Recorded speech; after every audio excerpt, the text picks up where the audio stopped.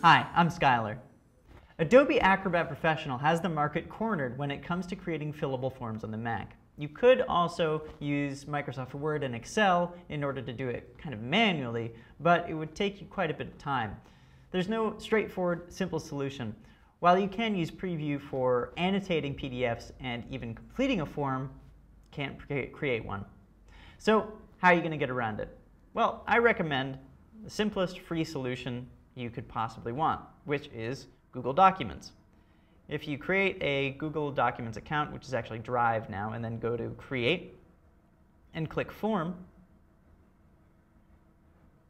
here we go. Now you can create a form very, very easily. Um, you can also choose uh, themes. And then you can email the form directly to people uh, to provide a link, etc. Um, you can also view live. There are a lot of different great options. Thanks for watching. I'm Skylar.